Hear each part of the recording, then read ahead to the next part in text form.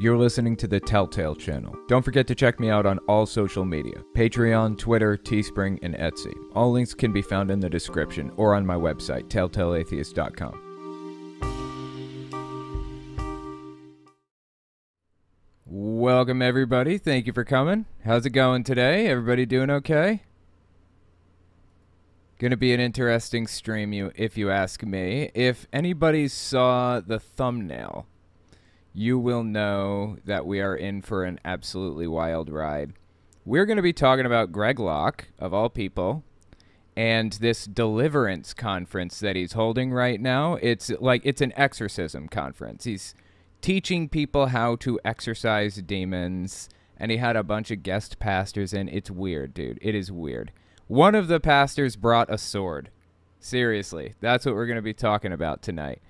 So let's just, I'll tell you what, why don't we just jump right into it? Um, let me switch screens so that you guys can see what I'm up to right now. And mute the music. We're going to be playing Smash Bros. because why not, right? While we uh, listen to Greg Locke get into shenaniganery. Okay, without further ado, why don't we listen to Greg Locke introduce this guy? I think his name is Harry Schaefer or something. We have like I, I think a minute worth of Greg Locke talking about. I just doing an intro to his talk. Uh, so let's listen. People literally are just calling from all over the world, just saying, "Look, I, I'm struggling with something, and I, I saw a YouTube video. Uh, I, I saw something that." That the Lord spoke to me about, and, and I think you're the guy. And and I you know, I do just want to point something out. Like, we haven't even gotten to Harry Schaefer, Greg Locke's guest speaker yet, but Greg Locke is famous for this saying that he does, okay? Let me find this clip from him because. Hey, I'm just going to go through some of the videos that I have from Locke for just a second to many find the right one. in the in Just let me drag it over here and just skip through them real quick because I'm looking for one specific video here. I'm telling you, we got two banners. You better get on the right side. I'm standing there. Uh, now what's floating around on the internet? I'm here to tell you, I'm not bowing down. This can. I'm gonna take conservative sin. This is the video. Okay. This video is from, I believe, January 2021. It's pretty old video, but he goes on Stu Peters' show. Greg Locke does, right? Listen to what he says to Stu Peters here. This conservative censorship is true across the board. I've been banned from you know YouTube, Twitter, Facebook has banned me, put me in jail many, many times. I'm sure you. That, did you catch that? He's been banned from YouTube, Twitter, and Facebook and stuff. So, how is it that what he just said is even a problem? People are contacting him from YouTube saying, I saw your YouTube video. Uh, I, I saw something that that the Lord spoke to me about, and, and I think How are people seeing his YouTube videos? He's got a YouTube channel again with 100,000 subbies, despite the fact that he was banned from YouTube. This deeply bothers me. Some of the stuff that this guy says on his YouTube channel is depraved. Straight up depraved. It's wrong, some of the stuff he says. He has deep seated issues with the LGBT community, for one thing. Um, that's just like one of the many groups that he has made it very clear that he hates.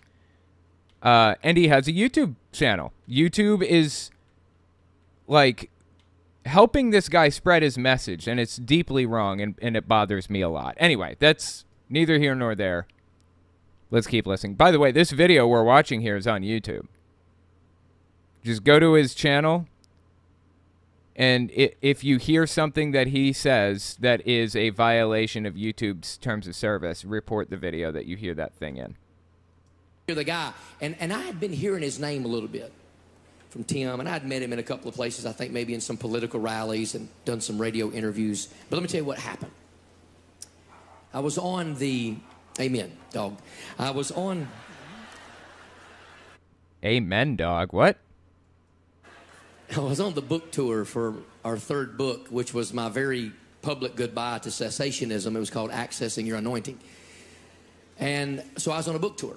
And every night of that book, we didn't plan it. Nobody knew that my wife and I were praying about deliverance. At that point, I thought people are going to think I'm hokey. They're going to think I'm crazy. Yeah, I mean, a little. I've already lost enough friends. I don't need to lose any more. And so nobody had any idea. But every night, and you'll hear a little bit more about it tonight, every night of that book tour, something massively deliverance related happened in the churches right? Like when I was with Pastor Shannon and I had nothing, I didn't understand Derek Prince Ministries and they started talking about, you know, spirits of Leviathan and I thought, who are these people? well, on that book tour last year, I went to Pastor Henry Schaefer's church and I was preaching. This is the guy. He's introducing the guy. One night. And it was just a, a regular service. We had a great crowd. I think I preached on throwing Jonah out of the boat, whatever. And I got done. I was at the book table and I was shaking hands and you know signing books and doing pictures and, and things. And we had never really met a lot personally, right? Never behind the scenes. And it was such a God moment. And he didn't know then in that moment. I've shared that with him since. He walked up to me and he grabbed my elbow and he said, I want to talk to you in my office for a minute. Well, normally when you're the visiting preacher and you've preached and the preacher wants to meet you in the office, it either didn't go well or he needs a cut of the love offering. I don't know. he said, I, I, need to see you in my office. And so we went in. He had no idea, none. This was a Holy Spirit moment. Said, right, a Holy Spirit moment. Okay. Down in this little chair, and he sat behind his desk. And he said, I want to talk to you about deliverance ministry. And I'm thinking, excuse me? I mean, you have to understand, deliverance for me at that moment was a Burt Reynolds movie. That was it. And I'd been watching, you know, Daniel and Isaiah and Vlad. I've been watching them guys, and I'm like, wow, that, this is something different. This is so strange to me. But I like it. I was so. Dr- if you're unfamiliar, by the way, deliverance ministry. I, I've said this before, but it's just exorcisms. They're learning to do exorcisms, basically, to exorcise demons from people and stuff. It's obviously completely fabricated because demons aren't real in the first place. So, whatever. On to it. And so he had no idea. So we started to talk to you about deliverance ministry. And for the next nearly hour, every, every bit of 45, 50 minutes, he began to tell me how God opened him up to the ministry of deliverance. And now the people began to just come hungry. Dude, is this cr- is this guy crying? He's crying. Why is he crying now? He said, God told me to move the front row of my church because he was going to fill it with wheelchairs of people that were going to be delivered and healed and they were going to get up and they were going to walk. Dude, this is disgusting. This this is one of the most disgusting things that I think like pastors do is promise to get like people who are disabled and in wheelchairs promise to get them out of those wheelchairs. It offers false hope that they cannot deliver uh, and it, it's just wrong. It's just straight up wrong. And I'm gonna be honest, I heard that, I was like, I'd love to believe that, but I wasn't there yet. I'm just being honest. I believe, help my unbelief. I mean, I was so Baptist born and Baptist bred. When I was dying, I was going to be Baptist dead. That was it, right? And I ain't against Baptists. I preached for a bunch of them. yeah, he's not Baptist anymore. Um, I, from my understanding, he kind of identifies as non-denominational or whatever, which basically means evangelical. Ironically enough, a bunch of them haven't showed up doing deliverance ministry, but nonetheless, I'm sitting there thinking through all of my denominational mindset, and this guy's talking about people getting up out of wheelchairs because they've been healed from a spirit of infirmity, and he went on to tell me these things, and I'm like, this is fantastical. And then he prayed with me, and I left, and my wife had picked. It's ridiculous, actually up a book on like deliverance from darkness or something that had been written by one of his friends, and we got on the bus. And I said, honey, you ain't gonna believe this. You know that stuff we've been talking about, like secretly behind closed doors in a vault that we didn't want anybody to know about? This guy brought it up, and he was real with it. And there's a reason each one of the speakers are here, and as I introduce them throughout the day and the night, you'll know that today and tomorrow.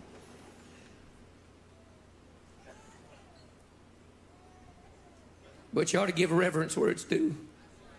He's crying again. Come on, Greg. It's just it drives me nuts when he cries about the most ridiculous stuff, honestly. And a year ago, I would have never hosted a conference like this, nor would have I ever been involved in a deliverance service. A year ago. I mean, our church was baptized in deliverance ministry like overnight. And our church was like, we've been waiting on you, preacher, to catch up. God got the church here before he got me here. I'm telling he really did. Am I telling the truth? He did.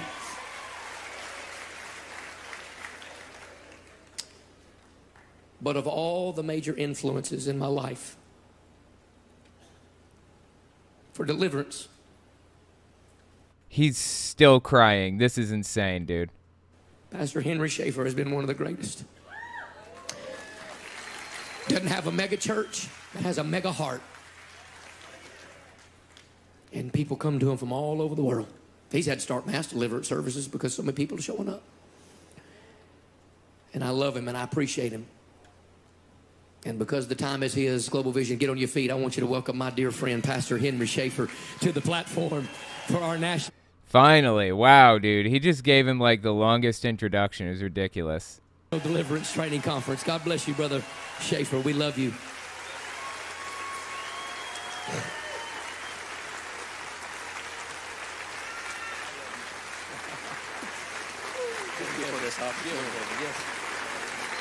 Go and give the Lord a hand clap of praise in the house. Okay, so this is the guy. Um, he's had a couple of big hits. Uh, you know, he's made a couple of clips so far in my clip collection. Let me just show you one of the stranger ones from this guy. Let me see if I can find it. Hang on. It's uh where is it? If you go No, that's not the one. Um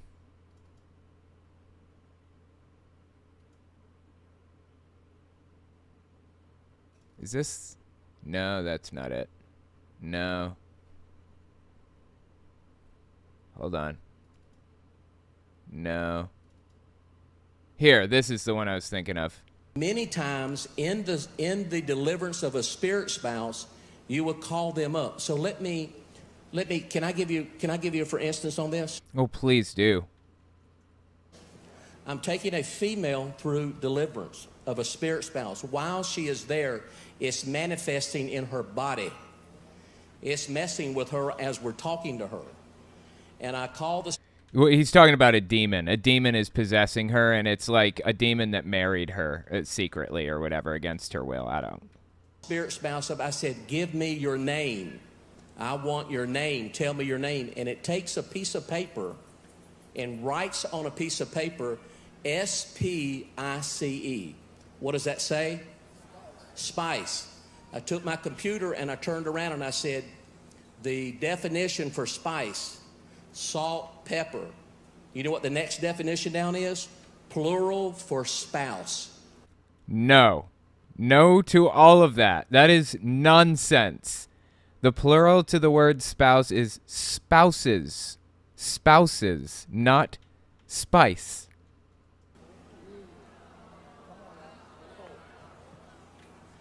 Next question.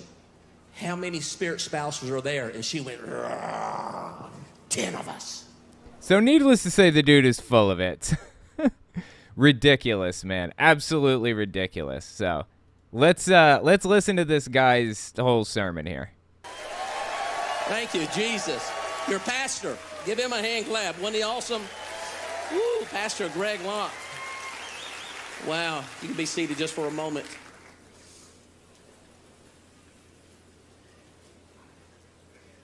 Thank you, Jesus. You know, there's so much I want to share with you. And I want to thank you for allowing me to come and be here and for you to sit and listen to what I got to say, I believe from the Lord. But as I stand here before you, Dude, he's crying too. Oh my god, why are these people crying about Jesus all the time? I can only be who I am. I'm not Pastor Locke. I'm not a worship team. Dude, he sounds like he's like on the edge of sobbing. What is he even crying over? I'm not sure. Why is he crying? I can only be who I am. And that's all I am is who I am. Okay, that's all anybody is, is who they are. I don't. Why is he crying? I don't understand.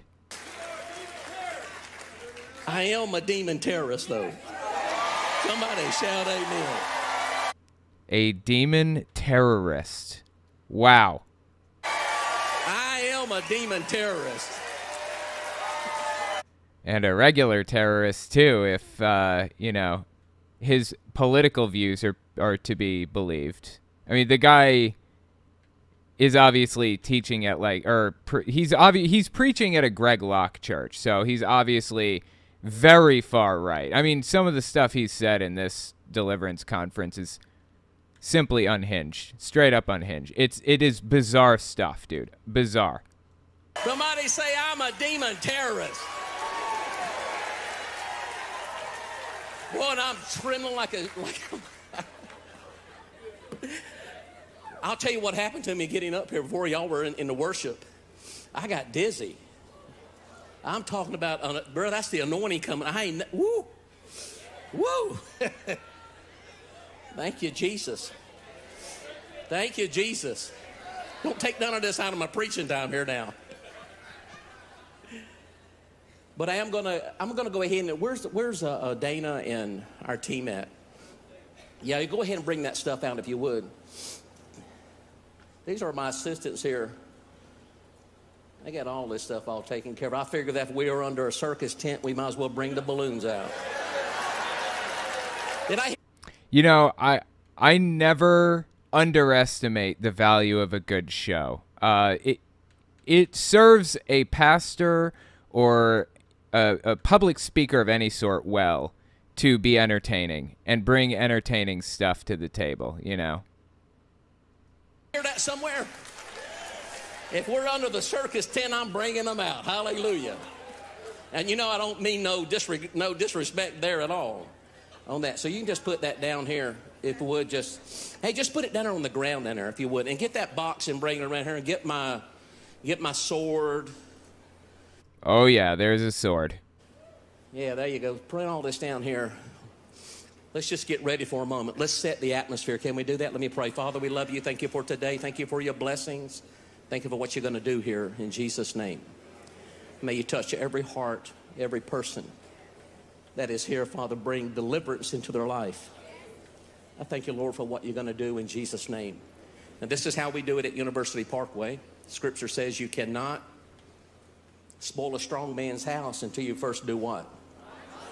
Y'all going to help me do this? Say, in the name of Jesus. Look at your neighbor. Look at your neighbor. Say, in the name of Jesus, I bind the strong man and every person here. You hear me, strong man? You're bound. You hear? Uh, who is strongman a demon? I may I may have missed something. Is he talking to a specific demon? Is the demon in the room with us right now? What's his name? Henry or Henry, right? Is the demon in the room with us right now, Henry? Hear the word of God today. Sit on down. Be quiet. Any spirit that came in this property, in this tent, we bind you up, send you out to the four corners of the property in Jesus' name.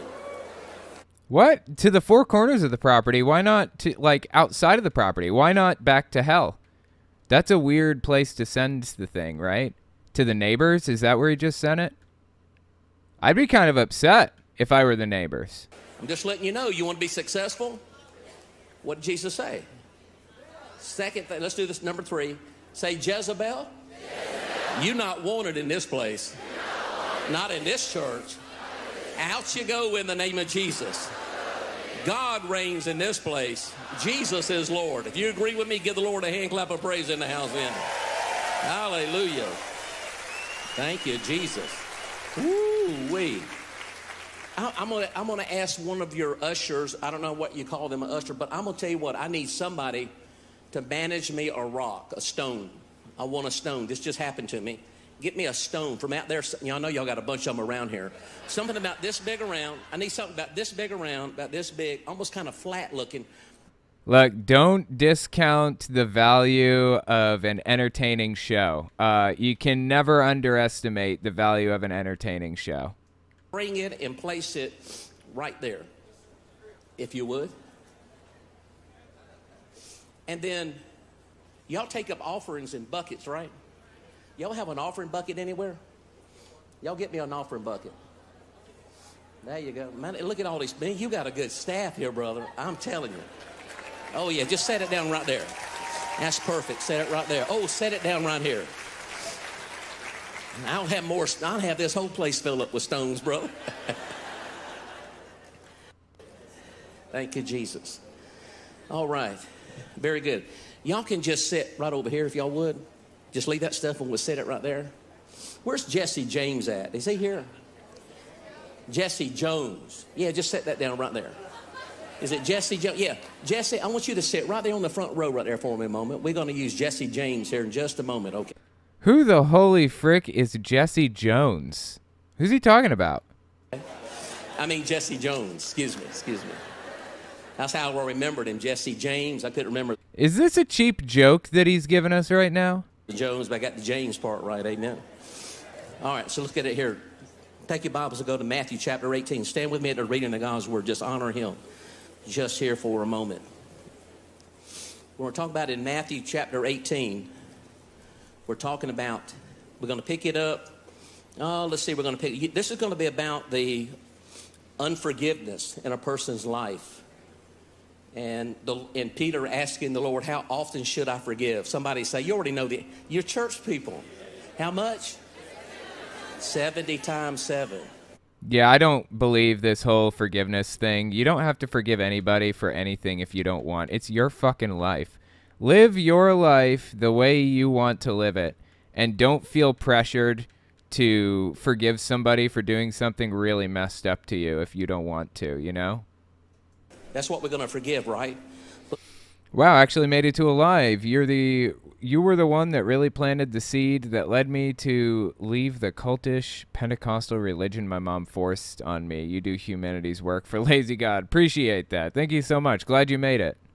Look at what he says here uh, in, in the parable. He says, But the same servant that went out and found, in verse 28, found out one of his fellow servants which owed him a hundred pence, and he laid hands on him and took him by the throat, saying, Pay me all that you owe me. And the fellow servant fell down at his feet and besought him, saying, Have patience with me, and I will pay thee all. And he would not, but went and cast him into prison till he should pay the debt. So when his fellow servants saw that he that was done, they were He's still sniffling because he was crying earlier. very sorry and came and told their Lord all that was done. You know the scriptures. Then the Lord, then the his Lord, after he had called him, said unto him, O thou wicked servant, I forgave thee all that debt because thou desirest me. Shouldest not thou also have compassion on thy fellow servant, even as I had pity on thee? And his Lord was wroth and delivered him to the tormentors till he So wait, is he still talking about forgiving people for things when they don't deserve it? Interesting. Okay. He should pay all that was due to him. Verse 35. Key scripture. In your Bible, every time that you see these words in your scriptures in your Bible, so likewise should be circled. Words like therefore, but, so likewise. Jesus is hinging a spiritual principle. Dude, I'm getting hecked over here. for us shall my heavenly father do also unto you if from your hearts you forgive not everyone his brother their trespasses you may be seated in the presence of the lord when we start off with deliverance one of the first things we always begin with is a spirit of unforgiveness having unforgiveness in a person's heart when we talk about that we're talking about how important it is for you to forgive for unforgiveness is the doorway that allows demonic spirits to come into your life. That's where you begin at is with this unforgiveness. That's just in my in my uh, uh, assessment of Well, why is your assessment worth anything more than anybody else's? Like this guy is so full of it in every way, every aspect of his life. Because demons aren't real. All of this stuff is completely made up. And he continues to say it as though it's true. Why is his assessment worth anything? well, you know, the Bible tells us If we hold any unforgiveness in our heart, what happens? God does not hear our prayers. Dude, I'm getting messed up right now. So that's why you got to deal with unforgiveness first to get that in there. But what I want to do is I want to share with you something about this here. What's the difference between unforgiveness and a spirit of unforgiveness? Here's the difference unforgiveness is what someone has done to you, how they have hurt you. It could be your husband, your wife, son, daughter, a place where you work at. Someone has hurt you, mom or dad has hurt you, and you have brought some kind of a a thing against you and brought in unforgiveness. We, many of us being Christians, we all know we got to we got to deal with unforgiveness. And every time Pastor Locke preaches on that, everybody deals with that same unforgiveness.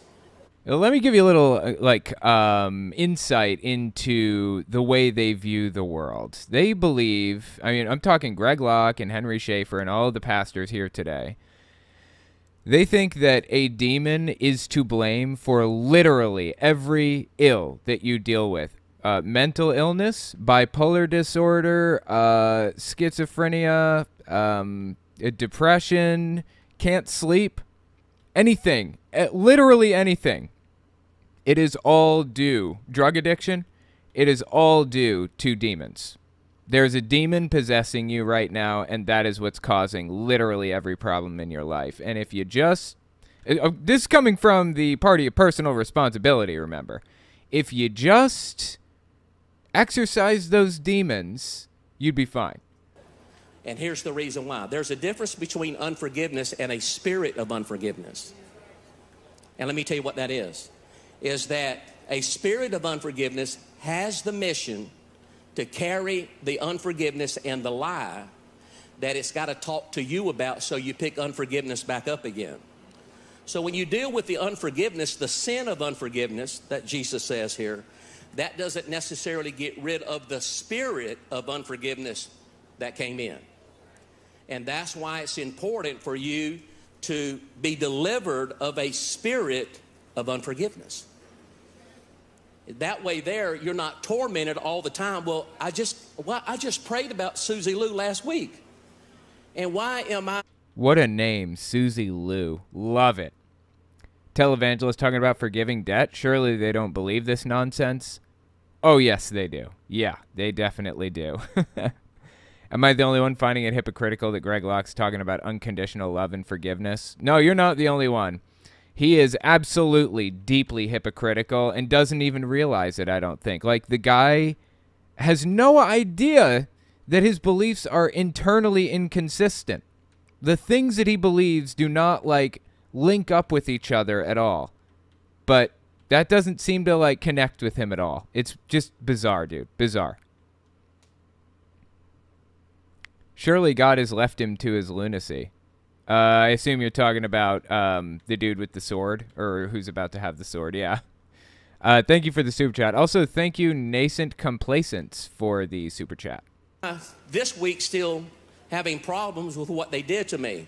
It's because you dealt with the the breach at the altar and placed it under the blood, but the demon didn't go nowhere. Deliverance sets you free from that tormenting voice that rides you all the time.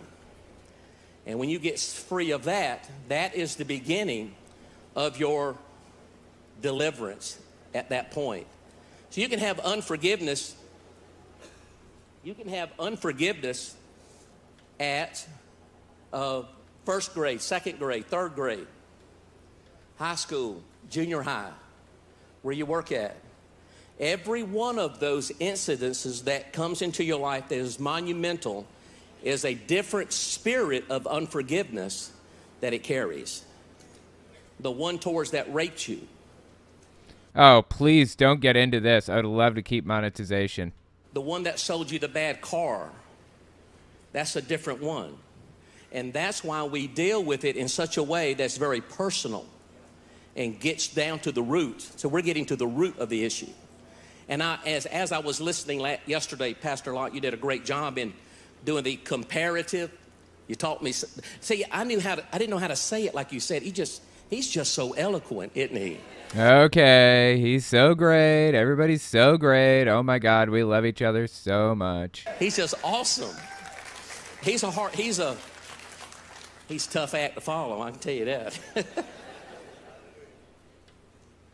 but as he taught us yesterday, the comparative point in Scripture, this, in this story here, he called him a wicked servant. How can you, did someone say he's not Your mom's a wicked servant. saved? No, that's not, he's, he's saved and he's a servant of the Lord. But the thing is, is that compared to not forgiving versus a one forgiving, he's considered wicked. Does that not make sense what I just said? So that's why, even in that passage of scripture, that is taught like that. So let's talk about deliverance. Let's talk about getting set free. This is one of the things that I did. Is it all right if I come down, Pastor? This, this is Okay, I think this is where the sword comes out. So he was talking about uh, people bringing his sword down earlier. This is where it comes out, I think. just the way everyone I teach. I'm a very simple person, and I just teach in a very simple way. I am more what you would say visual in things. Come on up here. Y'all, ladies, y'all come help put this on him. On uh, Jesse James right there for me. No, he's James. He'll always be Jesse James to me. Yeah, I, I did some kind of inside joke. Yeah. Okay, so they've tied balloons to this young fella over here, and the balloons say something. I, I can't make it out. God, I hope he takes his sword and like swings at the balloons to pop them. It, it's some kind of a crazy illustration. How fantastic would that be? This guy gets into his act at Greg Locke's church and starts swinging the sword around at people. Oh my God. Turn that on around, slide that on around for him a little bit. Yes. sir. I, by the way, I haven't seen this. I've I've only seen bits and pieces of it. Oh, look at this here. So this is this is most Christians in church right here. Let's not hey Jesse, raise your hands and worship the Lord. Say I'm free. I'm free. I'm free. Listen, you want to dance? Yeah, Listen, come on, we're gonna dance a little. We, hey, we come here, we shout. Come on, y'all. Hey, that's church right there. That's Christians right there. In bondage, man, into all of these things. And what deliverance does, it actually sets you free from many of these tormenting things. It's not a matter And remember, deliverance is like demon exorcisms, basically. he's not saved. His spirit man saved, but in his flesh dwells no good thing. And look at this here. You will never ever be able to fulfill your call nor your destiny in God until you get free. Let me let me just say this here. Let me tell you this here. God is so jealous of you. If I can just say he's so je- he loves you Dude, is he crying again over God being jealous of people? Why would God be jealous of people? Seriously, think about this. Think about what he's saying. God is jealous of you, of a of a human being. Isn't God capable of like any feeling, any emotion, anything that he could possibly want, he can have anytime? Why would he be jealous of humans? Seriously. What is this guy thinking? Where did he come up with this nonsense? so much. He loves his church so much. And he is so tired of the devil beating up his people. Oh god, this is so cringy, dude. Oh my god. This is so cringy. I can't. and molesting his people and taking advantage of his people. It's like a man that will come in. The devil's like a man that will come in at nighttime Oh no, please. into your children's bedrooms. Okay, we're going to jump forward just a little bit a little bit cuz I don't want to hear it. This guy's getting too emotional. You hear me? God's raising up ministries that's to kick the door open. Somebody shout amen. And uh, his voice is cracking because he's so sad and heartbroken over the fact that What is he uh, crying over again? I don't know. I don't know. He's crying over something. I don't understand.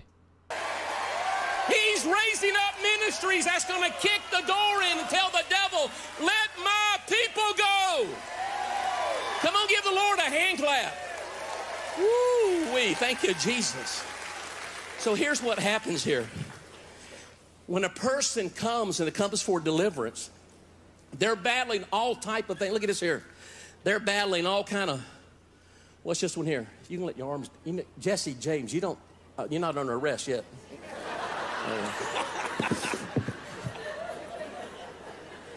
This is so cringy. Unfor- hold that one up. You can hold that one up. Unforgiveness. We just dealt with that, didn't we? But there are so many of you here right now, you know what they did, what they said, and a, uh, it plays over in your mind over and over. God wants to set you free from that tormenting spirit called unforgiveness.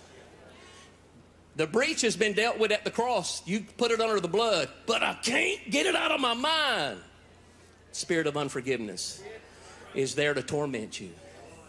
And this is what mass deliverance does when they call these things out. Come out.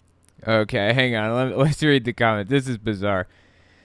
These guys sound like kindergartners making up a game and its rules on the fly. I aspire for those improv skills in life, right? It is really strange. Some of this stuff is just bizarre, dude. Just bizarre.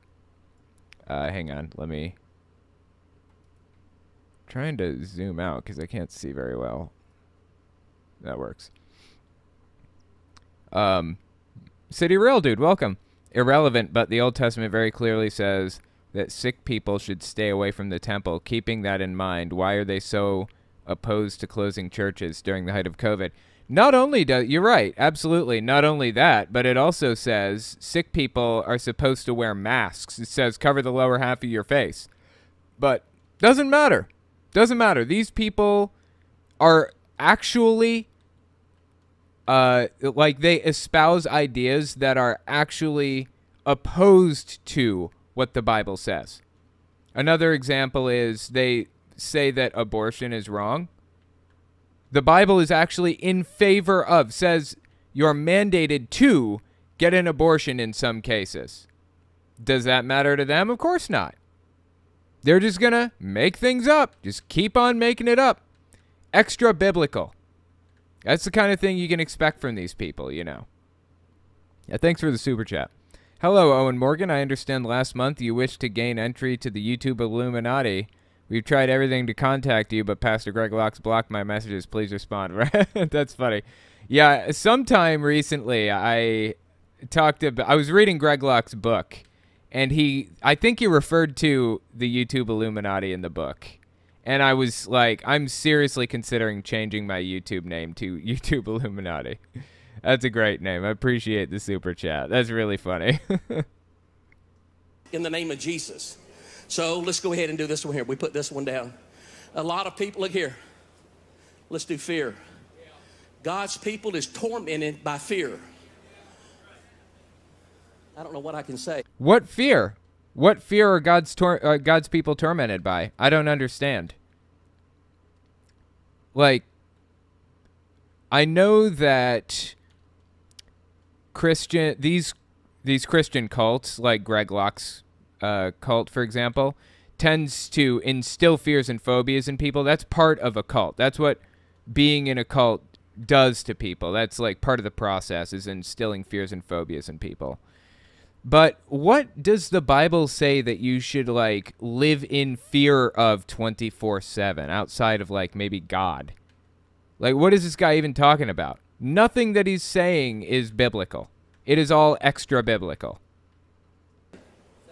Coronavirus fear. Fearful. Well, unfortunately, people have kind of given up on caring about the virus. I haven't. I'm still taking it as seriously as I can. Um, reasonably seriously. You know, I wear my mask when I'm out, and I still take tests, stay home if I'm sick, and all the, you know, everything. I still do all that stuff. Um, but Greg Locke's church, they never took the virus seriously at any point ever. At no point did the people he's talking to here, quote unquote, live in fear of the virus ever. Not once. Listen here. I got it. I had it. My oxygen went down to 83%. Holy shit, dude. That's really good. That's really bad. That's that's terrible actually. 83%. Aren't you supposed to be hospitalized at like 85 or something? Maybe there's a doctor in the house who can give me some insight. I had a doctor came to the window of the house and looked in, knocked on the window, put the thing on my finger, said, "You got to go to the emergency room now." I said, "Jesus will heal me, or He'll take me." Genius. Genius. And when he was lucky enough to not die from it, I mean, it, it was sheer luck, not not Jesus saving him. When he was lucky enough to not die from it, he thanked Jesus and said, "Jesus, uh, you know, everything I believe must be right, or Jesus wouldn't have saved me." It, it acted as a reaffirmation of every single thing that this dude believes, every bizarre, unhinged thing. This is nuts. An overweight, an overweight white man is giving advice on how to free yourself from a painful existence due to choosing a path of self harm influenced by demons. I believe that explains itself, right? This guy is. There's no self awareness in this guy's head. None whatsoever. It's insane. This whole thing is insane, but so deeply entertaining, dude. But I'm not going to let them put that stuff in me. Somebody shout amen. Not going to let them put what stuff in you? What are you talking about? By that point, you wouldn't have gotten a chance to get anything put in you. Uh, they're very anti-medicine too, by the way. Not anti-drug. That would be good generally. You know, drug drugs are bad, legit. But anti-medicine. They are anti-medicine. They don't believe in taking medication for pretty much anything and that most definitely includes the vaccines. So, yeah. They think that it's like big pharma trying to get one over on you. They're trying to take advantage of you and they think that pharma Kia is a demon that like tries to get people to take medicine so it can possess them. It's it's nuts, dude. Nuts. And I'm standing here free in the name of Jesus. I still serve the risen. Listen to me. Listen here. That Bible that you hold in your hand is written to me. Actually, I think it's written to everybody, but that's neither here nor there. You've got to grasp that. That Bible's written to me. I mean, got, you got to say it for you. Everything in there's for me. It's not for. It's not another another another dispensation, not another time. It's for me. And coronavirus, you think this is what they got planning? You think this is what they got planned? Oh, please. So the the virus was planned apparently, according to these people. And they've got even worse stuff in the works. This is nuts, dude. What is going through these people's heads? But listen here, let me tell you let me tell you what's going on with this deliverance and things like this here. The gifts of the Holy Spirit that we speak of in 1 Corinthians 12 and 14. All the gifts gifts of healing, miracles, all of this deliverance and all of this takes place. The gifts of the Holy Spirit is for one purpose. Now we have a lot of things, but the main let's say the main purpose.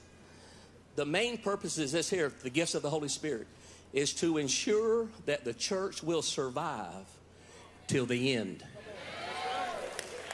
Okay, the gift of the Holy Spirit is to ensure the church will survive till the end. Okay. Till the end. All he would have to do is bring something across the planet that would wipe out mankind, but the church, the believing church, through the gifts of the Holy Spirit and the power of God in the deliverance ministries that He raises up, that when you cast out evil spirits, healing comes forth, miracle comes forth. They are there to, ins- listen, I'm trying to tell you, they are there to make sure the church survives. Now, take a look at this guy's shirt, by the by. Oh, God, I'm dying. Look at his shirt. It's an American flag that says faith on the back. This is a perfect illustration of this guy's world philosophy, his life philosophy. It's all about Jesus and Trump basically. He's a he's a Trump extremist. It's all about Jesus and Trump, the two messiahs effectively. That's how he views things. It's nuts. Hang on, let me switch my headphones one second here. Other stuff that goes along with it. I mean, visions, dreams, and all. Uh, that's that's it. All he'd have to do is bring one thing. Wipe the church out. But God's already got this thing prepared. God tells us not to fear. Fear is not of God. Look here. Fear of dying. Fear of dying from the coronavirus. Well, it's weird that God tells them not to fear, right? And then he goes out and buys a bunch of guns to protect himself and, and encourages people to bring guns with them to his church and all this stuff. Uh, kind of an odd thing for somebody who doesn't live in fear to do, right? Fear. There was a spirit that came up and talked out of a woman says, My name is fear. Oh yeah, and now he's telling some fake story about an exorcism that he didn't actually do. And I rule the world. You hear what I'm saying? Come out, fear. Come on out, fear. Come out in the name of Jesus. Fear comes up and comes out. Let's do this one here. Anger. Do this guy right here. We're talking about Christians right here. Anger. Here's what happens. You write up, let me, let me show you this here. Here's how hang, anger works. You ready?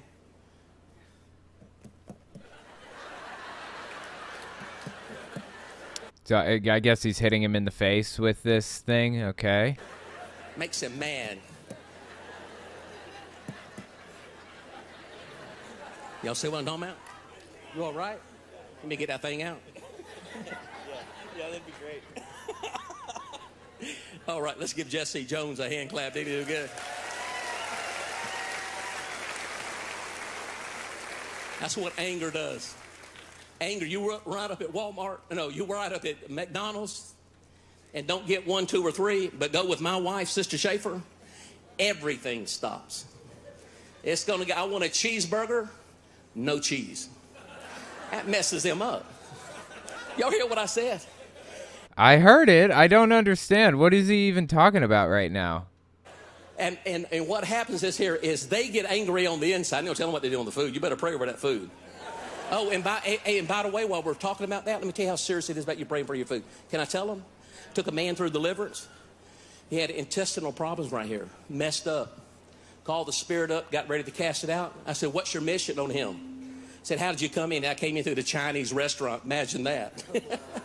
Okay, is this just like casual racism that we're hearing? I'm, I'm not not sure I even understand what he's getting at, but I think that he's just being casually racist. came in through the Chinese restaurant when he was eating. Ain't nothing wrong with that. I said, What gave you a legal right to him? He said, He did not pray over his food.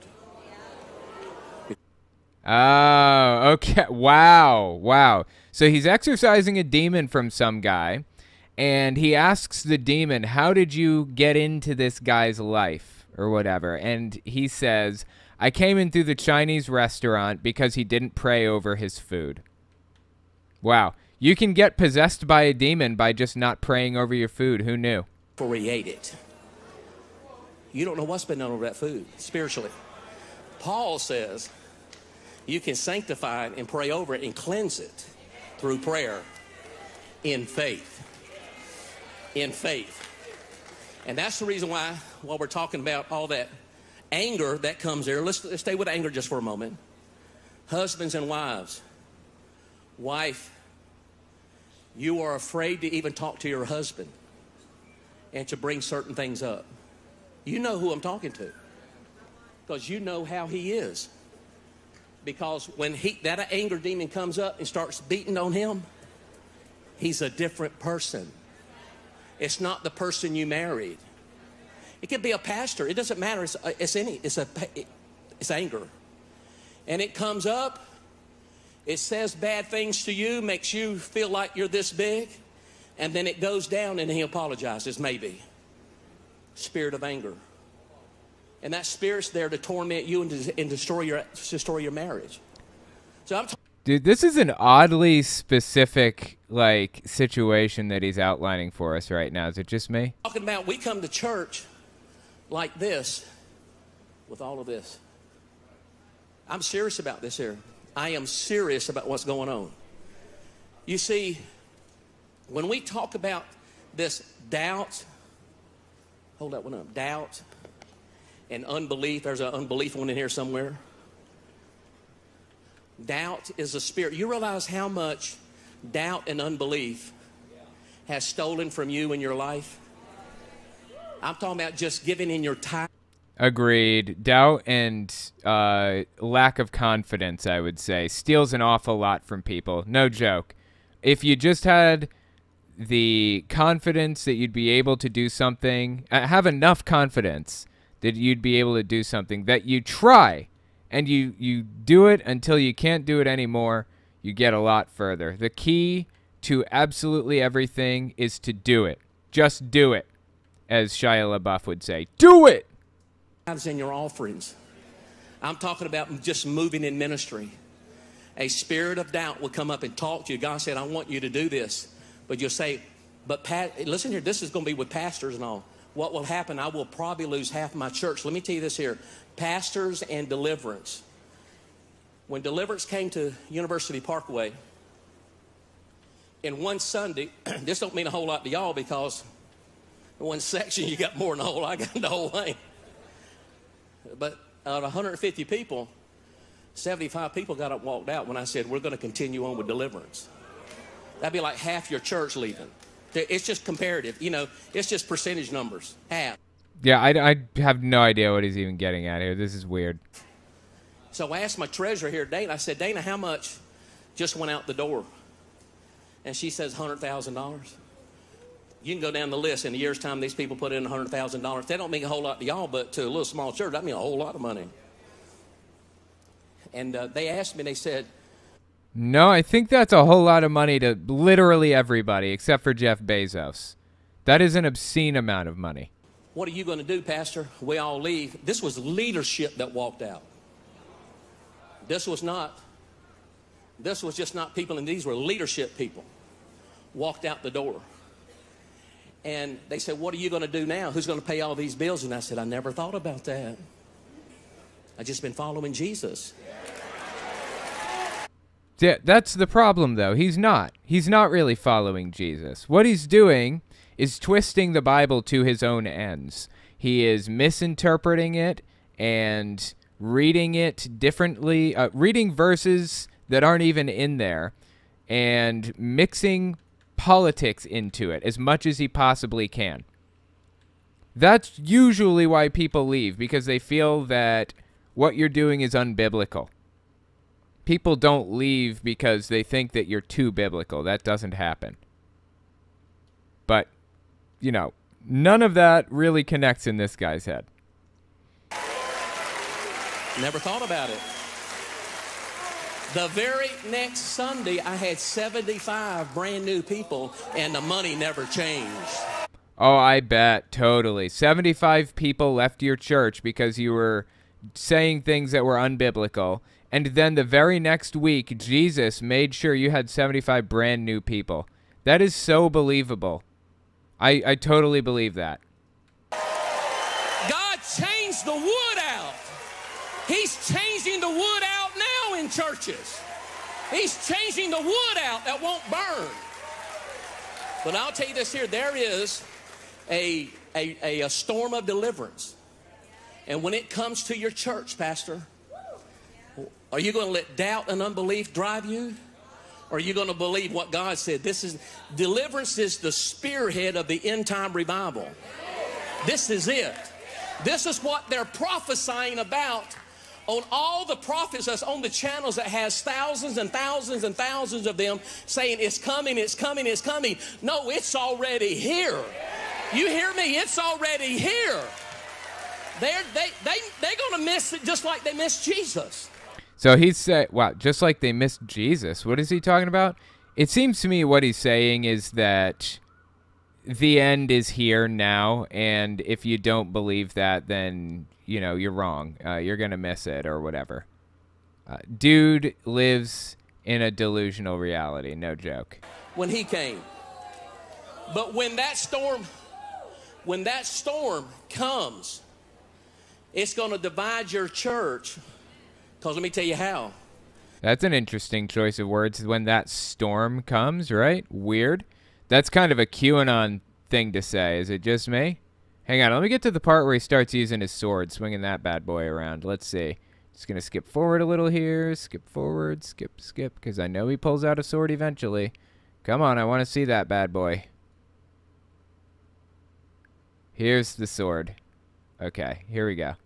All right, let's see what this dude does with the sword. He's about to pull it out. And this guy is in a squid costume, okay? Check this out. Get rid of him. Is you take the, the Bible, here's what he says you take the anointing oil, go ahead and anoint the front, the back, the sides, both sides, and at the very top, mind control, he has a tooth that bites in right here. And he bites, his he's a tooth of a bone. He bites right through your skull spiritually. The tooth of a bone, and he bites through your skull spiritually? and holds on and sucks the spiritual life out of you. Many times when you take micro then you take the Bible.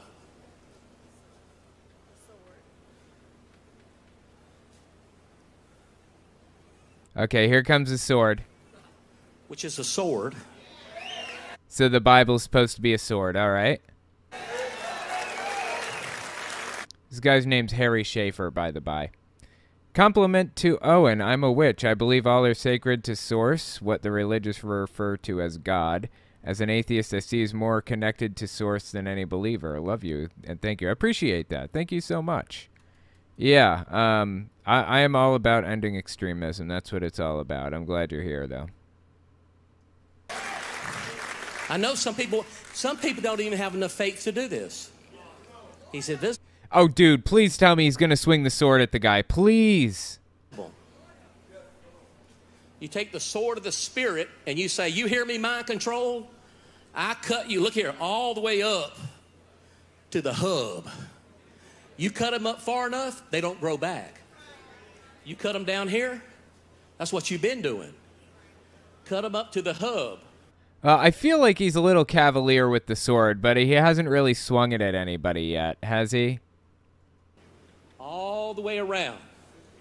You sever this spirit off like this here in the spirit realm. Then you reach up to the top of his head and you you do this here. You hear me mind controlled?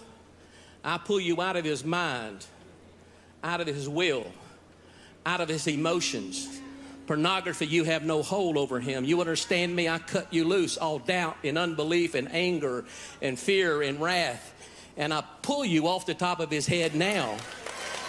In Okay, so I guess the squid was supposed to represent a demon that's possessing him or whatever. the name of Jesus. I didn't write the book, I just do the book. See what I'm talking about? So the the whole demon possession thing isn't really in the Bible anyways. Like there you know there's some demon possession. I'm sorry. I meant the the deliverance ministry thing isn't in the Bible where uh, like all the ideas and beliefs these people have about how to exorcise demons from people and how to pray them out and all this other garbage. It's not in there. This is all completely fabricated. So actually he did well, he maybe he didn't write the book, but the book is not the Bible. He's not talking about biblical principles here at all. Now if you read the book, people will think you're smart. They will. Just read the book. So watch this here. And God told me, He said, it's in the book. He's not going to give you all these things supernaturally. When he, he's already given it to generals. And I just gave you a key to setting your own self free and setting your children free. And everyone here needs to go through deliverance for what? Now, let me tell you why it's so important. And let me tell you why the armor of God does not work. You say it works. Well, then What is the armor of God? What? why are you having so many problems with pornography then? Why are you having so many? Put this back on, brother. Well, everybody has problems of some sort. Now, I, I completely disagree with the whole premise that that thing is even a problem in the first place, generally speaking, unless you're in a, like a relationship that wouldn't want something like that, or that's totally unrelated. Uh, everybody has problems, is the point. Everybody. So I find it really odd that this guy is making it out as though if you have any problem at all in your life, then it's because you're possessed. I mean, fundamentally, that is what they believe, though. He thought he was over with, he? Where's that, Where's that uh, bucket at? Are you ready? Oh, this is perfect. This is perfect. Because it's metal. You know when they want to sh- say everybody thinks the armor of God. Are We're talking about armor. Met- is it metal or something like that? When you put your cell phone inside this bucket, there's no signals can get to you. Uh, that is inaccurate. You need a Faraday cage for that. Y- Your s- cell phone can still get signal, I believe, if it's in a bucket. Correct me if I'm wrong. metal bucket. That's called a. That's called a. Uh, what is it called? Faraday cage. I'm an electrician. I ought to know that. That's, Oh, that's right. He is a Faraday cage. Yeah, okay. I'm sorry. Yeah, that's right. He is an electrician.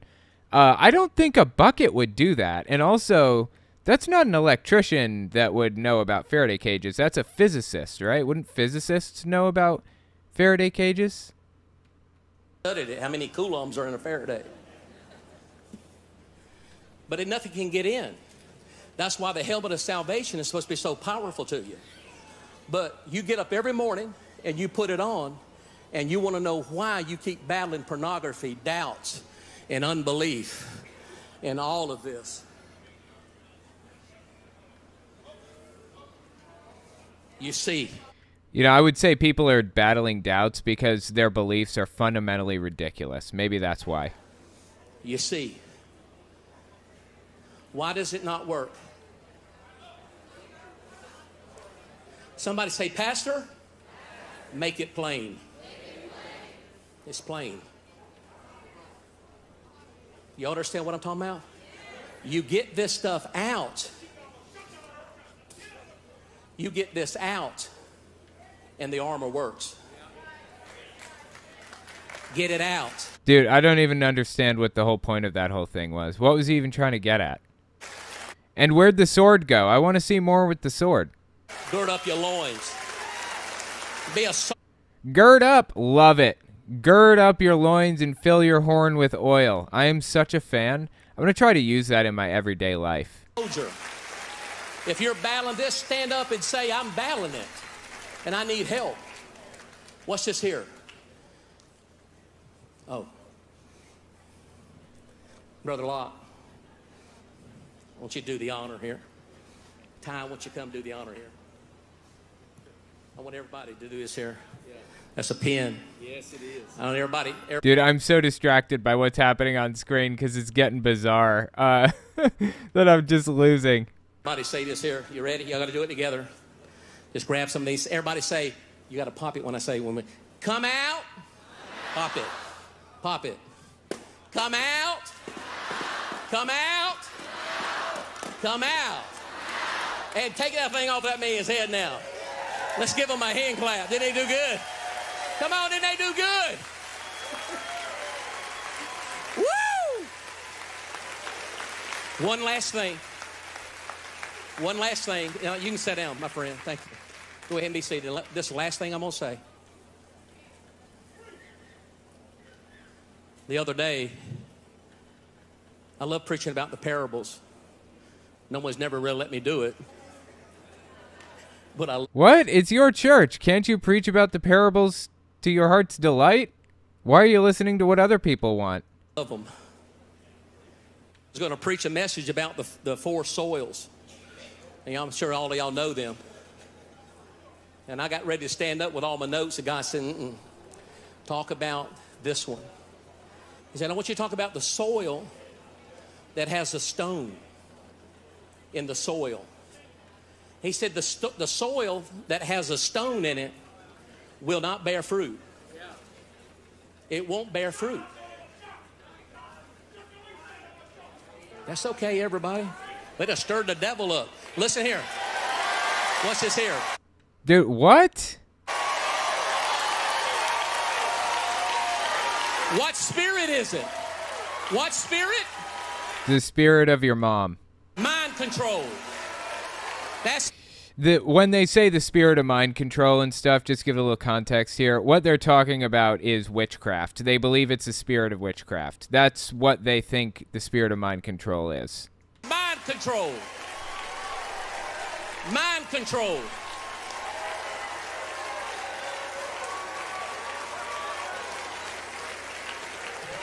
see the kid just lying on the ground. I have to imagine that she believes that she fell out in the spirit.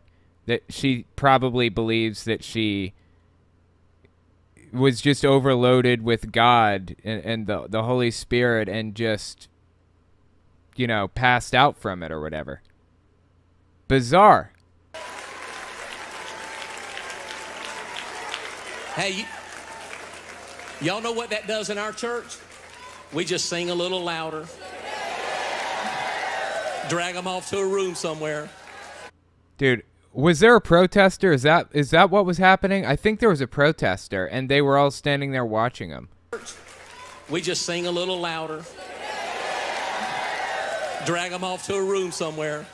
Most churches had to shut them down for a month, worse than COVID did. so here's this here.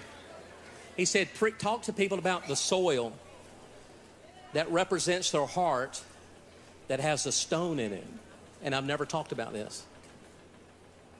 And as I started ministering about, God said, there's a place in your heart that does not bear fruit. And there's a stone covering it. Wow, this is absolutely bizarre, dude. This guy is just strange. He is straight up odd. Check out Bobby Conner, another crazy evangelical. It's easy to and should be trolled. Okay, I'll check that out. Sounds interesting. Appreciate it. Man, this guy is something else. Is really interesting. I'm going to be doing more of this guy in the morning if you guys want to come watch. Uh, either 11 a.m. or 4 p.m. tomorrow on my unfiltered channel. I'm going to be covering some of it. So give it a look if you guys want to, you know, see more. I think it's pretty crazy. Pretty interesting stuff. Anyway, all right, I'll tell you what, guys. I'm going to call it there. I appreciate you coming and hanging out. It's been fun. And I will see you guys hopefully tomorrow morning. Uh, if not, then possibly next week. All right, thanks, guys. Have a good night. If you like what I do and you want to make sure I can continue to do it, you can support me in a few ways. First, you can support me on Patreon. That's probably the best way. But if you want to get something back for your support, you can check out my Teespring. I sell all kinds of shirts and stickers and stuff on there. Second, you can support me by checking out my Etsy store. I sell 3D printed stands for every system from the original Nintendo to the Xbox One. And finally, if you want to support me in other ways, you can check me out on my other channels. I have the podcast channel, which is where I talk about whatever's on my mind politics, social issues, whatever. You can also find it everywhere podcasts can be found. Or you can check out the videos on my main channel, where I focus on destructive cults. As it is with most channels these days, I rely on the support of viewers like you to keep my channel alive, so sharing my work is extremely helpful. Anyways, check me out in all those places if you haven't already. Thanks for listening, guys.